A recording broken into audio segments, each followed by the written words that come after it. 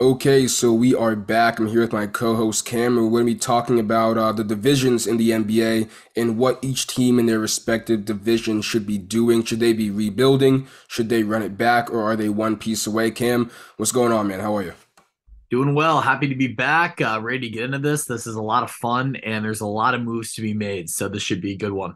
Yeah, the NBA offseason is one of the best times in the NBA period because you start to see all these terrible takes and you start to see all these crazy news stories that really don't have any worth but it's just fun to kind of talk about these things. But we're going to hop into this one starting with the pacific division. Before we hop into this make sure to like and subscribe. Uh, we're at 4120 subscribers. Let's get to 4200 uh, start off with the suns cam. Are you going to run it back with them rebuild or are they one piece away yeah, they're right in between. Uh, I think they're still one piece away. Got it. Obviously, we know about the lack of depth and the lack of interior defense, and I think this all starts with moving on from DeAndre Ayton.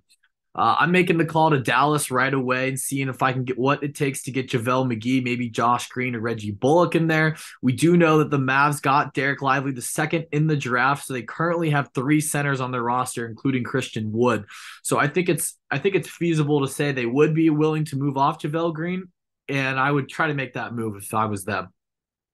Yeah, absolutely. What we saw in college, I saw this stat and it said that, um, or a graphic, and said the three best college centers went undrafted in the NBA because the NBA is changing. So Drew Timme, as great of a as great as a post player as he may be, his game doesn't translate well to the NBA, and that's why paying DeAndre Ayton thirty plus million dollars to do what JaVale McGee can do on a veteran's minimum really just makes more sense for the Suns. So I agree with you there. For me, I have them at one piece away. Now they have Bradley Beal, they have Devin Booker, they have Kevin Durant. Everybody knows that. And they're fully committed to a win now mindset with Matt Ishbia going all in.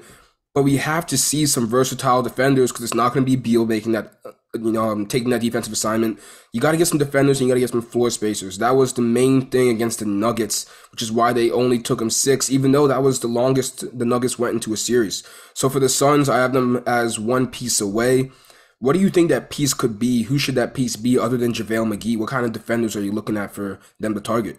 Yeah, I mean, they definitely need to re-sign Torrey Craig and TJ Warren on uh Torrey Craig will probably get a little more than the vet minimum and get TJ Warren back there on that vet minimum. I think those are two guys uh, they have to have back for sure. Um, kind of a long shot for them, but if you can get Jarred Vanderbilt to opt out of his uh, one year deal with the Lakers, I think that could be a really good piece for them. I mean, obviously, he doesn't need a lot of shots. We saw that this year with the Lakers, especially in that Denver series, and he can guard multiple positions. So I, that's who I'm trying to make the call to if I'm uh, if I'm Phoenix.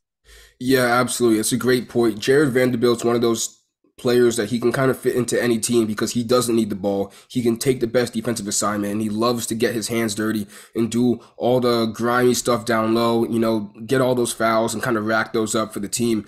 But the Lakers moving on to the next team, they're the exact opposite. They need people who can shoot the ball and make it, that can take that pressure off of LeBron James and Anthony Davis. Cam, you running it back, rebuilding, or are they one piece away, the Los Angeles Lakers?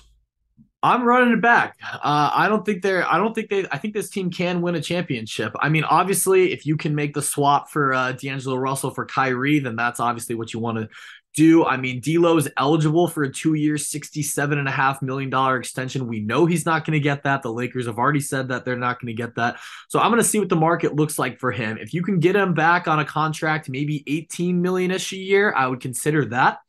But they the Lakers also did say they are going to do whatever it takes to keep Austin Reaves. So another guy I'm looking at from their end is Georges Niang out of Phoenix. They could get or not Phoenix, uh, Philly, excuse me. They could definitely get him on a one year deal, and I think he's exactly the kind of player that Lakers could use. Yeah, absolutely. Talking about D'Angelo Russell, people love to mention how the playoffs are just half of a season or a third of the season. The playoffs mean everything. D'Angelo Russell was going for 20 points in a quarter, damn near, in the regular season.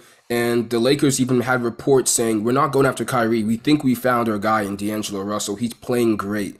And then we saw him not have that same productivity against the Nuggets and against the other um, teams in those in, in that playoff run. And when that happened, they said, Oh, we're taking that contract right back. Because if you can't do it in this moment, we don't want to pay you in the future thinking that you can do it for us later on. But I don't know. I, I'm in the run it back area with the Lakers right now, man, because they made the Western Conference Finals. They lost to the eventual champions.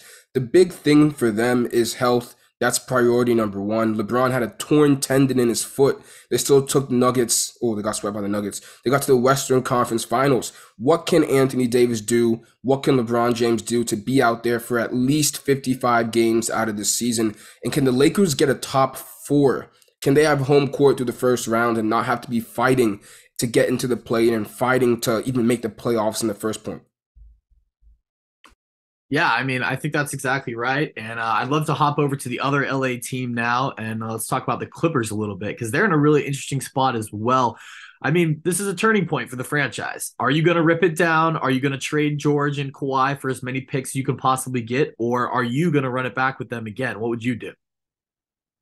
Man, I saw Kawhi Leonard be the best player in a series with Devin Booker and Kevin Durant. And even with that being said, he tore his ACL. I mean, he looked like he was on the top of the mountain. He was stripping KD, going one on one against him, dunking on him, giving him buckets. And Paul George wasn't even there. I thought the Clippers, if Kawhi stayed healthy, that series is going six or seven. Unfortunately, he didn't. And that's why I have to say you got to rebuild because you can't trust these two players to consistently be out there for you. And we're seeing the same thing with the Clippers, where they load manage so much in the regular season that by the time the playoffs come around, first of all, the players aren't ready physically to get to that ramp up that intensity that the playoffs um, hold. And then second off, you don't have the chemistry that you want with your two star players if they can barely be on the court at the same time. Now the Clippers have a lot, a lot of assets. They have a lot of tradable assets, a lot of guys, a lot of wings and forwards that can be three and D players, put the ball on the floor, facilitate for others.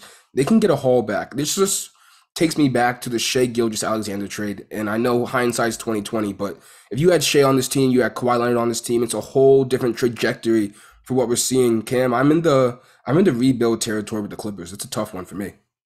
Yeah, I mean, I agree with you. I think ripping it down is the way to go. But I mean, if they choose not to do that and they choose to continue to con- try to contend, uh, I'm going after Fred VanVleet if it's me. Yeah. Uh, it's it would take a lot of work to sign him outright. You'd have to clear a lot of cap space. Guys like Terance Mann, Norman Powell, you'd probably have to let go or execute a sign and trade with them to begin with. And if you do that, I'm going after Will Barton on a veteran minimum contract. 37% from three last year. You can get him on a really cheap deal that's the kind of wing that you would use to replace guys like Terance Mann and Norman Powell. But I'm with you. They need to rip it all down. Yeah, uh, LA, the Clippers, looking back on when Kawhi went there, I remember it was what, fresh, summer going into sophomore year of college. And we're seeing Kawhi and PG go to the Clippers, and we're seeing the billboards saying it's our town now. The Clippers are going to be taking over the Lakers. And hey, Regular season wise, the Clippers own the Lakers. The Lakers can beat them in the regular season, but what always happens? Injuries. And if you're Steve Ballmer and you're opening up a new stadium in 2024, 2025, you want to have some figureheads to be there. So I understand why people want to run it back, but for me, the playoffs is where it matters. And sorry, the Clippers just haven't shown me enough. Moving on to a team that has not been in the playoffs for a long time, made their first appearance this year, the Sacramento Kings. Now, Cam, they're young, they have good chemistry, and they're only looking to get better. They went to a game seven with the former champions, a year ago, the defending champions at that time, Golden State Warriors. Stephen Curry goes for 50 in an away game in Sacramento when they lose. Are you running it back, rebuilding, or are they one piece away? Yeah, I mean, they're also one of those teams that's in between one piece away and running it back. I mean, priority one for them is getting that Sabonis extension done. I mean, with the way he played last year, he's earned that uh, that big contract. So, I mean, they're already getting ready for it. They traded that 24 overall pick and Richaun Holmes basically to Dallas for nothing just to clear that uh, bad contract off their books. So you can tell that they're getting ready to basically just run it back. I mean, I think it's it looks like they've found their core guys. I mean, we saw what they did in the playoffs this year. They still will have that mid level exception, so they can definitely use that to add some extra depth for this team and maybe get a vet guy that wants to come in there and help some of these younger guys out. But I mean, I'm, I'm running it back. I think uh, I think they proved that they found their superstar tandem, and uh, that's that's what I'm doing.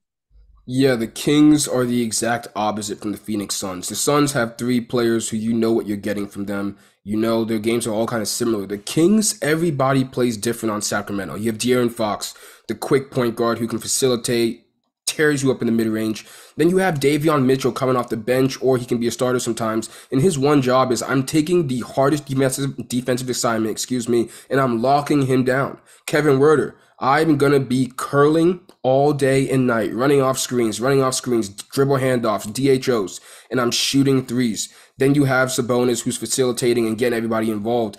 And I'm just thinking that everybody on this team knows their role, right? They're not just a bunch of players smashed together. They know their role and then they can kind of build and grow off of that too, which is why I think Keegan Murray taking that next step too is going to be a big, big um, step up for the Kings if they can do that because you're getting a rookie Keegan Murray giving you great playoff minutes, giving you uh, great time in the playoffs. And if you can just expound on that and expand on having those young guys get those experiences early, I think the sky is the limit for the Sacramento Kings. So we both have run it back. And the last one is the Golden State Warriors. This one surprised me more than anything. You got Chris Paul thinking back 10 years ago when they're playing Clippers versus Warriors series and Chris, Chris Paul and, and uh, Stephen Curry are going back at it, they're going back and forth, and now seeing them on the same team, Cam, I want to ask you, run it back, rebuild, or one piece away for the Golden State Warriors who traded away Jordan Poole and and replaced him with Chris Paul.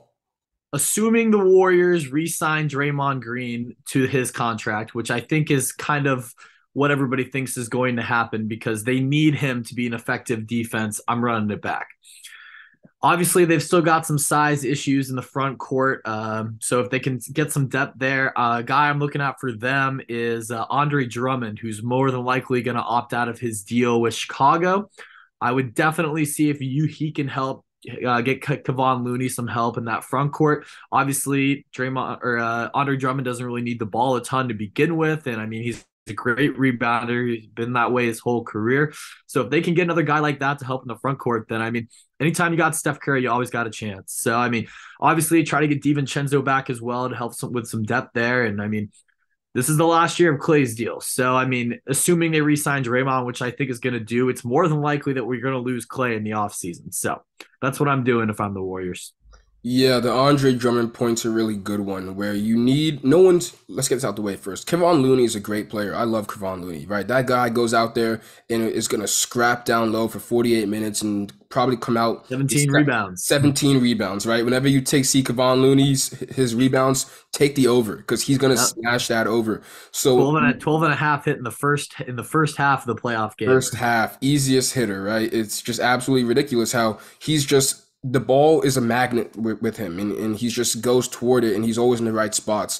But with that being said, on the defensive side of the ball, guarding somebody like an Anthony Davis, like a Nikola Jokic, you need to have a guy who can even just pick up fouls. Because if Kevon Looney gets in foul trouble, gets two quick fouls against Anthony Davis, then Draymond Green has to play the five, or JaMychal Green has to play the five, and that's not what you want. Which is why Andre Drummond having a big center who can kind of take some of that responsibility on the defense side of the ball is huge. So we went through the Warriors. We have run it back one piece away. We have Kings run it back. Suns one piece away. Clippers I have rebuilt, and then the Lakers run it back. Uh, anything else you want to add for this Pacific division as we head into the offseason for this year? Yeah, I mean that about covers it. Uh, a lot of these teams don't really have, uh, didn't really have a, a ton of high draft picks. So I mean, obviously you could get a sleeper guy in some of those later rounds that could show up and give you meaningful minutes in the playoffs. So that can always help if you can find those hidden gems. We saw Denver do that this year with Christian Braun. So you can always find a guy like that. That's that's that's exactly what you're looking for as a team who's looking to contend. Yeah, absolutely. And then before we head on out of here, I want to say happy birthday to the co-host Cam. Uh, really appreciate you, man. Uh, we know each other for for a while, so happy birthday to you and for everybody else seeing this one more time. Like and subscribe. We're gonna be posting more videos coming out in the summer, trying to get this YouTube channel started back up. And uh, with that being said, man, really appreciate you guys and thank you. We'll see you later. Peace.